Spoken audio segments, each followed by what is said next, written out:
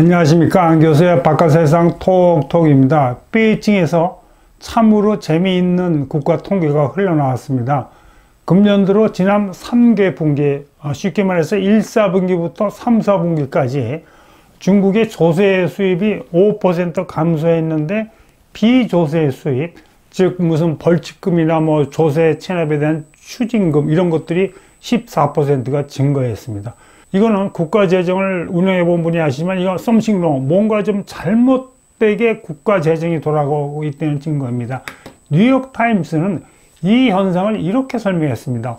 헝그리 타이어가 된 중국의 지방 정부와 지방 경찰의 어떤 행위 때문에 이런 일이 벌어지고 있다. 왜 그러냐면 사연인즉 참안 어, 됐습니다. 지방 정부나 지방 경찰이 힘들죠. 왜냐하면 지금까지 지방 정부의 재정 수입의 40% 정도는 어, 중국은 어, 토지가 국유재니까 건설업자한테 이렇게 팔고 그 수입으로 이제 지방 재정을 운영했는데 여러분이 잘 아시다시피 부동산 위기 때문에 이 토지 매각 수입이 3분의 1로 뚝 떨어진 겁니다. 그러니까 지방정부 전체에서 보면 총 재정 수입이 한 20, 30%가 날라간 거예요. 그러니까 무슨 현상이 일어나냐면 공무원 임금을 못 주고 뭐 삭감하고 난리 난 겁니다. 랴오닝성의 어느 도시에 동물원의 사육사가 자기 6개월치 월급을 못 받았다. 뭐 이러다가는 사료값도 못 되면 동물 굶어 주겠다고 이렇게 난리 친 겁니다. 제가 이렇게 보니까 이 국가 재정이 어려우면 중요한 사람부터 이렇게 임금 주는데 동물원의 사육사는 좀 이렇게 끝발이가 밀리니까 이런 현상인데 또 텐진시에서도 어떤 그 공무원이 3개월치 월급을 못 받아서 부모님이 보내주는 돈은 먹고 살고 있다. 자, 그러면 지방도시, 뭐 이런 동물원의 사육사, 이런 사람들만 그러냐.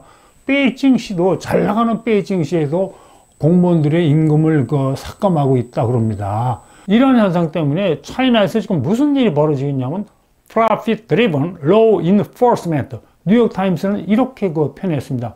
중국의 경찰이나 지방 정부가 새로운 수입원을 찾기 위해서 지금 난리인 겁니다. 그래서 이제 새로운 수입원을 찾는 게 제일 쉬운 방법이 이제 벌금 팍팍 매기는 거죠. 과징금 매기고 그 사이에 세금 안 냈는지 막 세무조사해갖고 뭐 미납세금 추징하고 거기다 과징금 매기고 그러는 건데 이 벌금이라는 게 제가 외국에 있을 때 이렇게 지방자치제를 하는 데서는 지방자치에 지방자치 경찰이 있지 않습니까? 그러니까 이 지방자치 도시의 시 재정 수입이 중요한 부분이 이제 교통 위반 딱지인가 봅니다. 그런 경찰 한 명당 뭐한 어, 달에 천 개대라고 그게 배당이 내려오나 봐요. 근데 어떤 사람들이 또 책을 썼는데 여기에 대해서 통계를 보니까 월 초에 그 경찰들이 그, 그 딱지를 많이 떼고 월 말에 많이 떼더랍니다. 그래서 왜 이런 일이 벌어지냐 하니까 부지런한 경찰은 천 개 딱지 그 배정이 내려면 열심히 월 초에 떼버리고 이제 후반기에 느긋하게 지나는데 게으른 경찰은 어슬렁거리다 월만 되면 급하니까 할당치 걸고 막 뗀다 그럽니다. 하여튼 이런 식으로 어느 나라든지 이렇게 지방 재정이 어려울 때 벌금 매기고 그다음 두 번째가 세금이죠. 기업 막 세무조사 해갖고 20년, 30년까지 막 뒤져갖고 추징하고 과세금 매기는 건데 지금 이 뉴욕 타임스가 이야기하는 이 헝그리 타이어가 된 지방 정부의 관리들이나 경찰들이 자기 동네만 이렇게 헝그리 타이어식으로 막 들치는 게 아니고 같은 가면 나무 동, 동네 이렇게 쉽게 말하면 다른 성에 가서 이렇게 막 이렇게 벌금을 매기고 난리를 친다는 겁니다. 예를 들면은 저기 지도에 보시면 광둥성 남쪽에 있는 어느 경찰은 무려 1000km를 막 중국으로 제가 화살 뺐습니다. 올라가서 후베이성의 우한이 있지 않습니까? 그 우한, 우한에 가서 소셜 미디어 업체를 덮쳤어요. 광동성 남쪽에 있는 경찰, 완전 남해 관할국에가 덮쳐갖고 25명의 직원을 체포한 겁니다. 그러면서 너 말이야 불법적으로 온라인 카지노 했지. 너 온라인 카지노 우리 광동성 주민들이 많이 이용했어. 그러면서 이 어, 광동성 police 그 은행 구좌로 4천만 불 송금해라고 그 회사 회계 당국자한테 이야기했답니다. 이건 이제 뉴욕 타임스에서 흘러난 이야기죠. 이야기 들으면 한 이 회사는 어, 억울하다, 뭐, 우리 그런 일이 없다 그러는데, 하여튼 1600명 고용했는데, 결국 bankrupt 했다 그럽니다.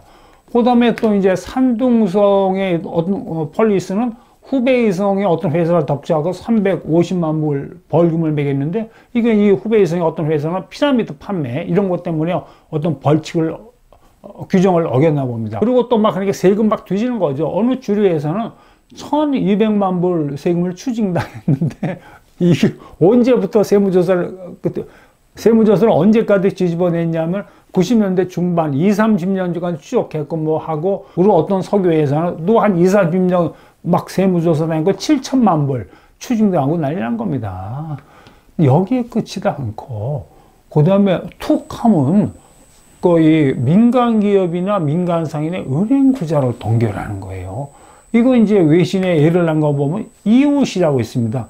우리나라에는 잘 알려지지 않는데 이게 비즈니스 하는 분들은 참 잘합니다. 이게 세계 최대의 도매 시장이 있는 데입니다. 저 아주 시장인데 이 시장 상인들의 그 은행 구좌를 만 삼천 개를 police가 동결해 버립니다. 동결해 버렸대요. 이것도 뭐 이우시에 있는 police가 아니고 뭐 다른 그 성에 있는 police들이 막 개입하고 동결했답니다.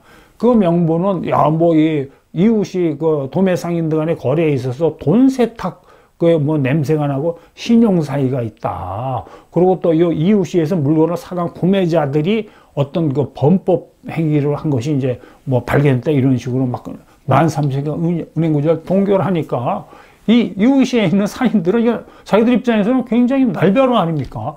아니, 도매 쌓이는 게 여러분 동대문 그 이 도매 상가 가보면 만나는 사람한테 의류 뭐 백벌 천벌 팔고 그러는 건데 뭐 그 사람이 누군지 모르죠. 사실 신분 확인하고 그러지 않고 그냥 은행 관리만 하니까 뭐 내가 어떻게 내 물건 사가는 사람이 범법 행위인지 어떻게 내가 난리 친 겁니다.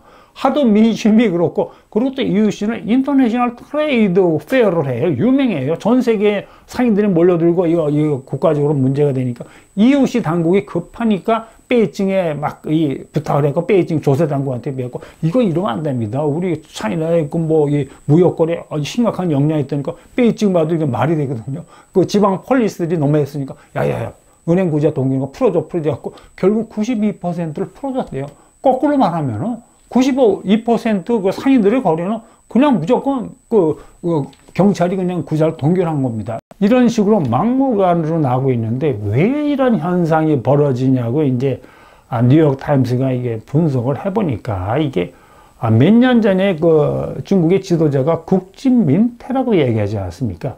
이거의 심각한 부작용이래요. 부작용. 왜냐하면 강한 국유 기업을 그 육성해 가지고 중국 경제를 이끌어 나가자 이렇게 얘기하니까 이게 중국은 원래 공산주의 국가였잖아요. 등시화평하고 이제 장점이 훌륭하다 그렇게 약간 자본주의를 도입했는데 공산주의 사상은 기본적으로 국가의 계획 경제이기 때문에 국유 기업만이 진짜 기업이고 나라를 이끌어 좋은 기업이고 민간 기업, 개인 기업은 이게 자본주의적인 행태거든요. 근데 그거를 등시화평이나 이제 후진타오 때 이제 민간 기업을 육성해야 되는데 그런 식으로 국진민퇴 나가니까 지방 그 관료들하고 지방 police 경찰들 그러니까 중국 인민들까지 민간 기업은 저 자본주의 잔재라 그러면서 민간 기업에 서 아주 부정적인 그 생각을 하고 그런 겁니다.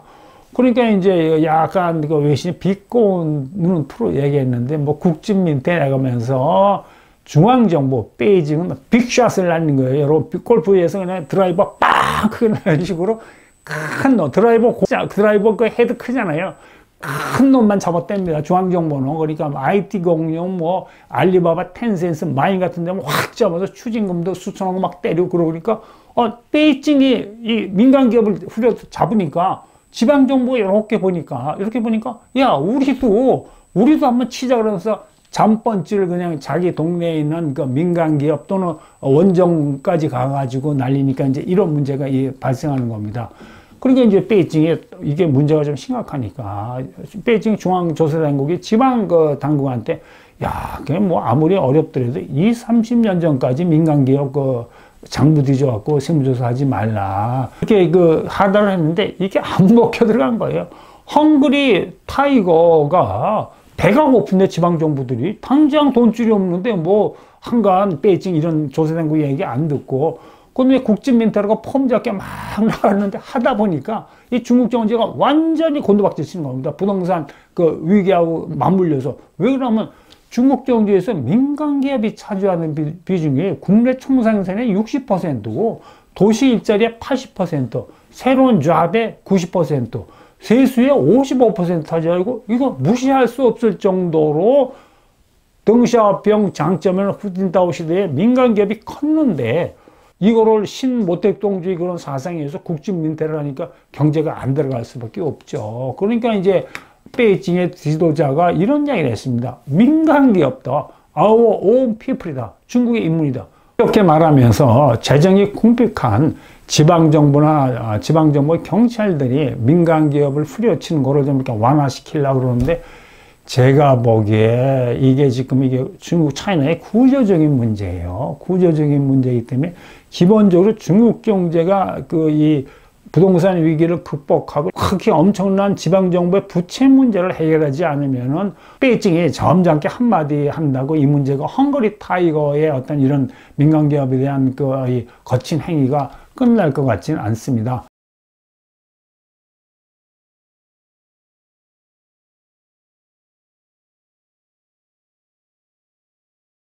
오늘은 여기까지 하겠습니다. 여러분 오늘 하루 원더풀 하십시오. 감사합니다. 대한민국도 원더풀입니다.